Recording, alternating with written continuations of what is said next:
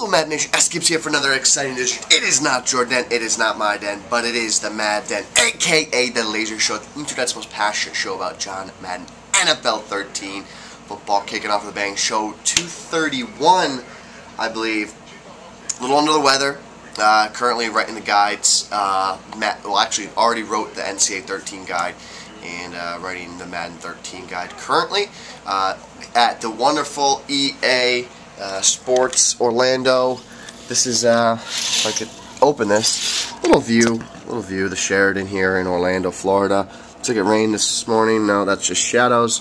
Um, I am doing this video. I told my boys Lotto, I told uh, C.R. Burke, I told Wolf that I would do a video talking about the Raiders and just been busy not an excuse. That's why I'm I'm head down crushing it right now. getting out there uh, right before I head into work now um, to do uh, to do this video about the Raiders.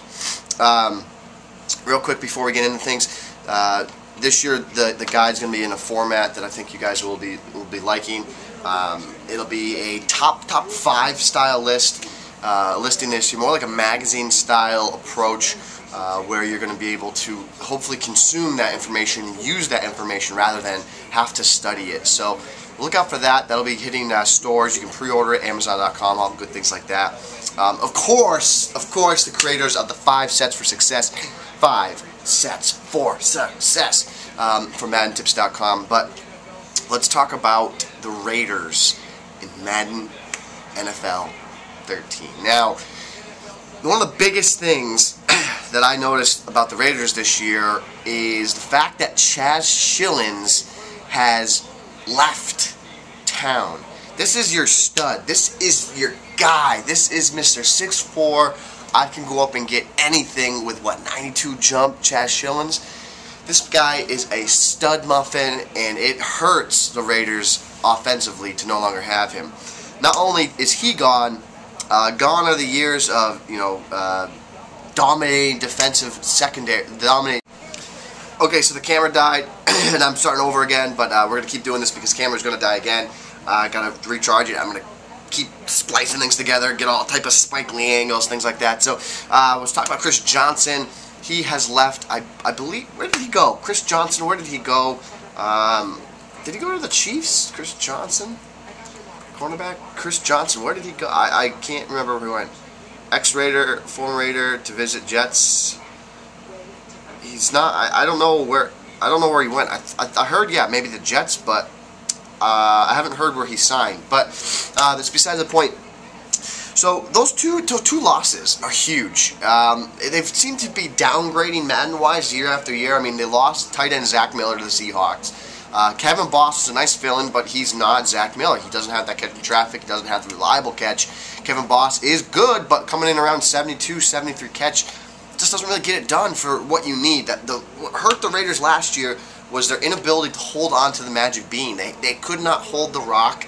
They couldn't hold on with catching traffic, and this was a part of the problems that you experienced with playing with the Raiders. Carson Palmer was a huge upgrade at quarterback, uh, and Terrelle Pryor gave you a little bit of speed, a little bit of wrinkle uh, to have in, in, in the quarterbacking game, but overall, the Raiders last year, biggest weakness was catching traffic. This year, their biggest weakness is going to be lack, again, lack of catching traffic and the lack of just absolute high overall players. Uh, your secondary, you're talking about Demarcus Van Dyke and Anamdi, Namdi, Anamdi Chekwa. they're coming in, they're going to be the two and three uh, cornerback. Oh, what do you know? Cameron died again. So Stanford Routt, we are talking about Stanford Routt absolute lockdown cornerback. But the problem is they're two and three guys. Uh, Van Dyke and Chekwa, do they get it done? Their, their top end speed is fabulous, but in times of Madden 12, you're completely let down by both of them. Um, they they have the ability to get to the next level, and I think they can become, uh, you know, what uh, you saw a couple years ago. You saw Nnamdi Asomugha, he was your one. Then you saw Stanford Routt Chris Johnson. Those they were in the low 70 areas, high speed, talented uh, back, and those current game, those games, that got it done for you. But now we're talking Madden 12, we're talking Madden 13, physics. You're talking that these lower rated guys won't be getting it done like you want them to. They're still going to be good. They're still going to make be able to make plays that other guys can't based on their speed.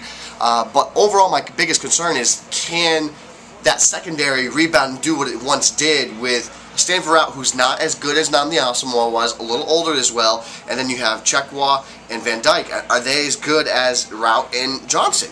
That's a, that's a serious question that I ask. They're deep secondary with Huff and Branch, no concerns there. They're absolute stud muffins. They, they're lights out in the secondary, so they're still going to be very strong in the secondary, just not what they used to be. Uh, now, receiving corps is another kind of interesting scenario. So you kind of lost height when losing Chaz Schilens. Now you lost that big big target. You still have guys with adequate height. Lou Murphy, Darrius Heyward-Bey. I think Lou Murphy's still on the team. Uh, Darrius Heyward-Bey, 6'2". You got Jacoby. So then uh, another another camera dies. So the speed at wide receiver is is the next uh, topic I was talking about. That's a big time strength. Uh, it's also a strength in the secondary. Just they don't have the top end guys. You have a ton of speed. Jacoby Ford, 98. Heyward-Bey, 97. Denarius Moore, 94. Uh, Darren, Darren McFadden, 95. Uh, they have Taiwan Jones, 95. They picked up someone else too. Um, Mike Goodson, 95 speed. So you have tons of speed offensively, and I think Darren McFadden is uh, Darren McFadden is going to be the stop, the, the, the straw that stirs the drink. He's going to be the guy that keeps everything together. But my biggest concern about that aspect, the guy that's been the focal point for the Raiders over the past couple of seasons, is that physics changes the way you have to run the ball. It is it is the biggest change I've seen in a Madden game uh, in a maybe ever, and and that's how you run the ball in Madden NFL 13 is you have to be precise. You can't just run into guys. If you run into a guy, you'll trip over him and fall. If you don't hit the hole right or you miss time the hole, you run into the back of your lineman, you might fall over, you might stumble, I mean, but you're not going forward. Same thing on the outside runs. You know how Alright, camera died again. That's what, fourth time? I gotta do this quick before it dies again, but was talking about uh, the running game and how that's going to be affecting this year's game. And, and Darren McFadden, the biggest strength to the Raiders is going to be difficult for guys to master. You're going to get there, but it's going to be a learning curve. You're going to have to go up and down the learning curve to get to where you want to be. Um, I'm excited for this year's game. It's it's a pure game. It's a purest game. There's going to be a lot of excitement around uh, connected career modes as well as physics, and I, am excited. Um, that's show 231. That was from my boy Lotto, my boy Burke, and my boy Wolfman. Uh, show 231, guys. Uh, MaddenTips.com. We are the creators of the five sets for success. And as always, guys, we are changing the Madden community, and we are doing it one snap at a time.